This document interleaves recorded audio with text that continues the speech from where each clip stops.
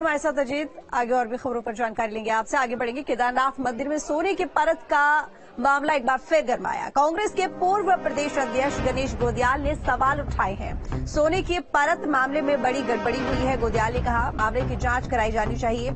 सरकार का रवैया तानाशाही वाला है। भू स्वामित्व के मुद्दे पर भी सरकार को घेरा है। सरकार अपनी बात से पलट गई है। तो बता दें, कांग्रेस के पूर्व अध्यक्ष गणेश गोदियाल, जिन्होंने तमाम तरह के सवाल बीजेपी के ऊपर उठाए हैं, इसके साथ ही केदारनाथ मंदिर में सोने की परत का मामला, जो कि लगातार बना हुआ है इस वक्त और उसको लेकर फिर से उन्होंने बयान दिया है और उन्होंने कहा है कि इसको लेकर जो सरकार है, वो सीधा सीधा जवाब दे। सोने की परत मामले में बड़ी गड़बड़ी हुई है। मामले की जाँच कराई जानी चाहिए। सरकार का रवैया तानाशाही वाला है। ये तमाम बातें गणेश गोदियाल की तरफ़ से कही गई हैं। आपको बता दें कि लगातार इस मामले को लेकर जो पंडित गण है, वो भी यहाँ पर प्रदर्शन कर रहे थे। तो विभिन्न माध्यमों से और प्रेस कॉन्फ्रेंस के माध्यम से भी पूरा दूध का दूध और पानी का पानी करने की कोशिश की है। निश्चित रूप में वो बड़ा फ्रॉड है और उस बड़े फ्रॉड को राष्ट्रीय स्तर की जाँच की आवश्यकता है। वो सिर्फ़ केदारनाथ तक सीमित नहीं हो। फ्रॉड वो फ्रॉड बहुत बड़े स्तर पर है। तमाम मंदिरों में इस प्रकार के फ्रॉड हैं, लेकिन केदारनाथ उस फ्रॉड का शिकार बना, ये बड़े दुर्भाग्य की बात है। मेरे समय में मैंने कहा था, वो प्रस्ताव आया था, जिसको मैं समझ गया था। जब मैंने जाँच की बात की कि भाई हम इसकी जाँच करेंगे कि आप सोना कितना चढ़ाएँगे, कितना देंगे। तो तब वो पीछे हट गए तो मैं समझ गया कि इसमें मामला कुछ गड़बड़ है। तो वही हुआ। इसमें हंड्रेड परसेंट निश्चित रूप में फ्रॉड है। अभी मैंने सुना है कि माननीय मुख्यमंत्री जी कैलाश मानसरोवर यात्रा के शुभारंभ के अवसर पर उत्तराखंड आने वाले हैं।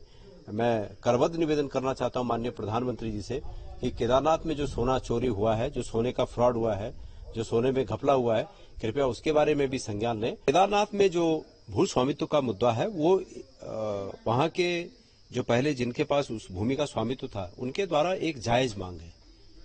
जब केदारनाथ में आपदा आई, आपदा आने से पहले वहाँ पर उनकी दुकानें थी, वो स्वामित्व उनका था, सरकार ने उन्हें वो स्वामित्व दे रखा था। और अब जब आपदा आई, आपदा के बाद सरकार ने वो एक्वायर कर लिया और उस समय ये कहा था सरकार ने, स्पष्ट रूप से सरकार ने यह कहा था उस समय कि हम आपको जितना आपकी भूमि थी उसके अनुपात में भू स्वामित्व देंगे और वहीं पर आपको बना के भी देंगे। ये दोनों बातें थी। लेकिन सरकार अब अपने वादे से मुकर रही है और ये सरकार हर हर जगह अपने वादों से मुकर रही है। तो अजीत हमारे साथ लगातार बने हुए हैं। अजीत, आपसे जाना चाहूँगी, देखिए यहाँ पर कांग्रेस के पूर्व अध्यक्ष गणेश गोदियाल जिन्होंने एक बार फिर इस मामले को हवा दे दी है कि केदारनाथ पर जो सोने की परत है, उस मामले को लेकर सरकार की तरफ़ से जाँच कराई जानी चाहिए। आखिर बार बार इस मामले को लेकर सवाल उठ रहे हैं। हालाँकि बीजेपी की तरफ़ से स्टैंड क्लियर नहीं है, लेकिन इस मामले को बार बार हवा देना क्या दिखाता है? देखिए ये मामला पिछले तो दो तीन महीने पहले प्रकाश में आया था कि वहाँ पर जो सोने की परत थी वो अब नहीं है। यानी सोने ये एक जाँच का विषय है कि वह की पहले सोने की परत थी कि नहीं थी और अब नहीं है तो क्यों नहीं है? चूँकि गणेश गोदियाल कांग्रेस के वरिष्ठ नेता हैं और प्रदेश कांग्रेस अध्यक्ष भी रह चुके हैं। इसके अलावा एक महत्वपूर्ण बात यह है कि वो बद्री केदार मंदिर समिति के अध्यक्ष भी रहे हैं तीन साल तक।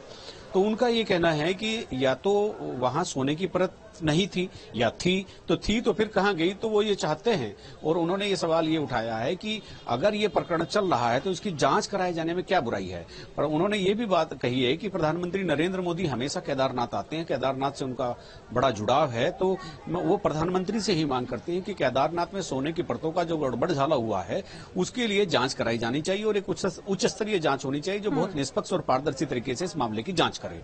तो गणेश गोदियाल अब ऐसे समय में ये मामला उठा रहे हैं जब प्रधानमंत्री की विज़िट भी हो रही है वो कैलाश मानसरोवर यात्रा मार्ग के लिए वहाँ पर कई कार्यक्रम उनके पिथौरागढ़ में है तो वो प्रदेश में अगले ग्यारह या बारह तारीख को आने वाले हैं उनका आना दौरा प्रस्तावित है। और गणेश गोदियाल ने आज तीस तारीख को ये सवाल उठाया जब आठ दस दिन बाद प्रधानमंत्री तो अजीत यानी कि ये माना जाए कि इस मामले को लगातार सियासी बनाने की कोशिश भी की जा रही है। चलिए बहुत शुक्रिया आपका तमाम जानकारी के लिए। फ़िलहाल यहाँ रुकेंगे।